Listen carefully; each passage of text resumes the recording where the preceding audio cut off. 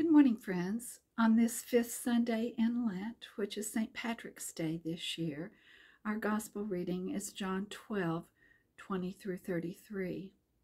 Now, among those who went up to worship at the festival were some Greeks. They came to Philip, who was from Bethsaida in Galilee, and said to him, Sir, we wish to see Jesus. Philip went and told Andrew. Then Andrew and Philip went and told Jesus. Jesus answered them, The hour has come for the Son of Man to be glorified. Very truly I tell you, unless a grain of wheat falls into the earth and dies, it remains just a single grain. But if it dies, it bears much fruit. Those who love their life lose it, and those who hate their life in this world will keep it for eternal life. Whoever serves me must follow me, and where I am, there will my servant be also. Whoever serves me, the Father will honor. Now my soul is troubled. And what should I say? Father, save me from this hour? No. It is for this reason that I have come to this hour. Father, glorify your name. Then a voice came from heaven. I have glorified it, and I will glorify it again. The crowd standing there heard it and said that it was thunder. Others said, An angel has spoken to him. Jesus answered, This voice has come for your sake, not for mine. Now is the judgment of this world. Now the ruler of this world will be driven out. And I, when I am lifted up from the earth, will draw all people to myself. He said this to indicate the kind of death he was to die. This is the word of God for the people of God. Thanks be to God. Amen. Our gospel passage today continues the message we were reading last week in John 3 about Jesus being lifted high on the cross so that believers might have eternal life.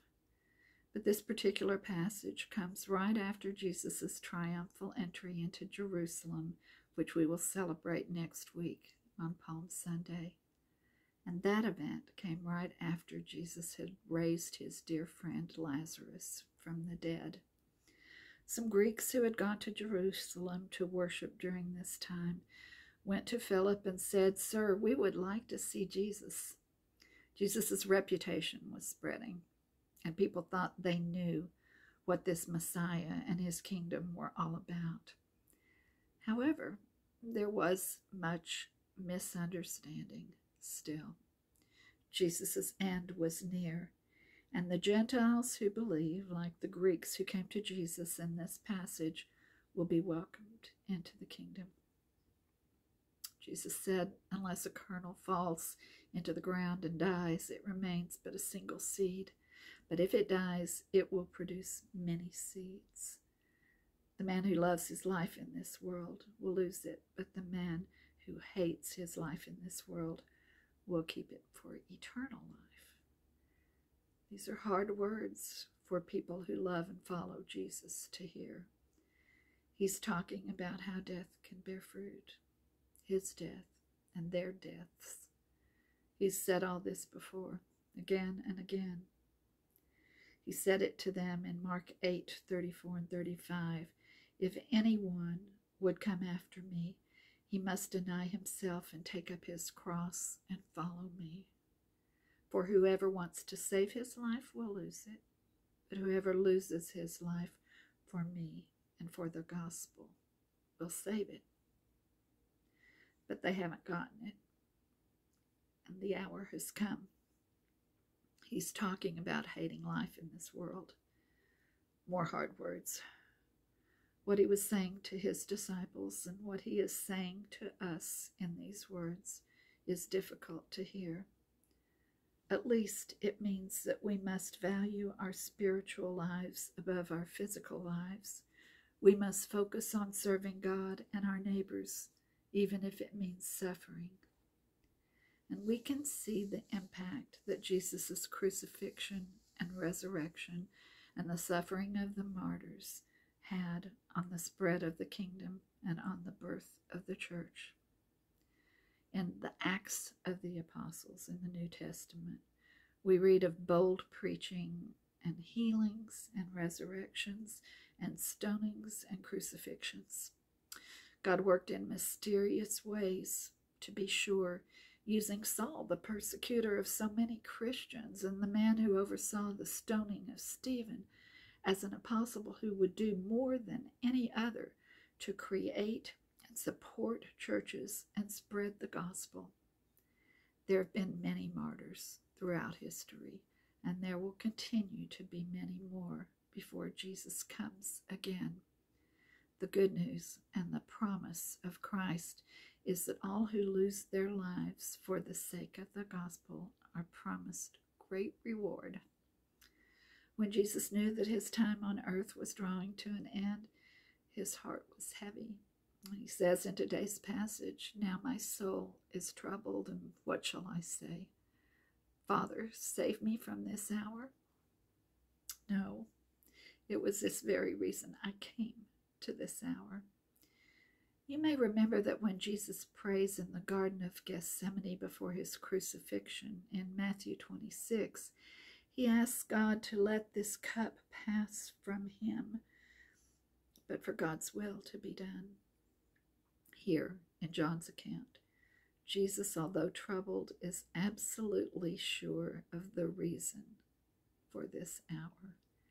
This is God's plan of salvation for humankind. It is for this very reason that he has come to this point. Jesus calls on God in verse 28 Father, glorify your name. Then a voice comes from heaven I have glorified it will glorify it again. And the crowd thinks that it's thunder, and some of them think that it's an angel speaking to Jesus. But Jesus says, This voice was for your benefit, not for mine.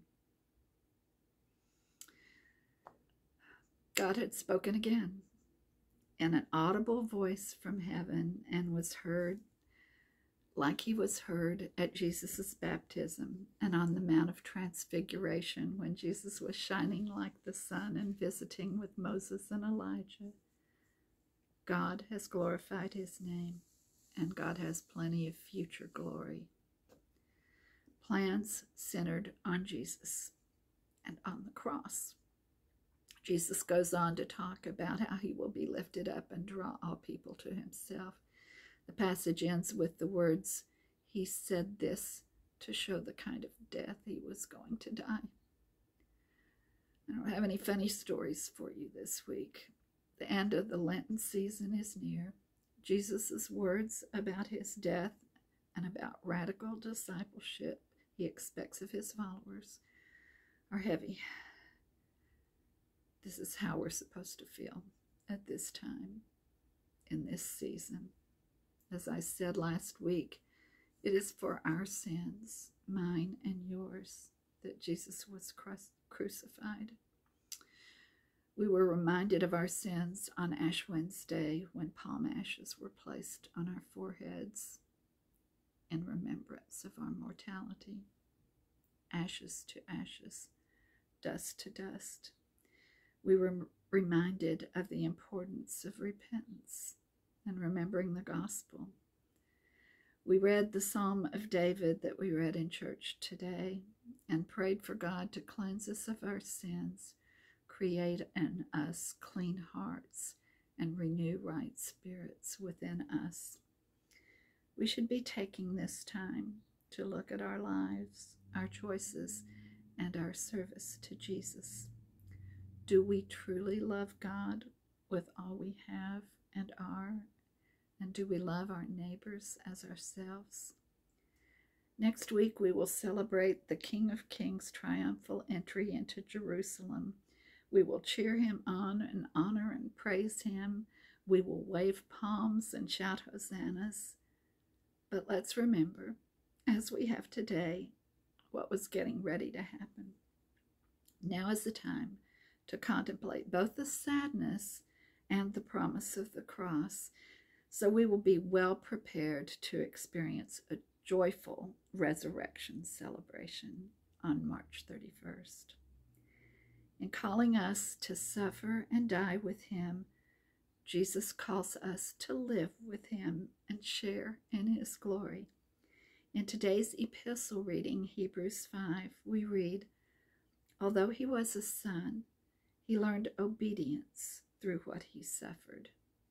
And having been made perfect, he became the source of eternal salvation for all who obey him.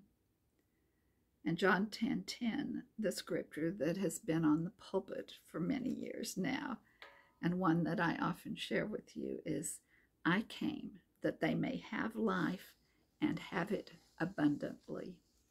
A British Anglican priest and poet, Robert Hawker, wrote, wrote in An Abundant Harvest around 1800 Had Jesus not descended to the grave, how would he have been the life giving, soul quickening root of all his church and people?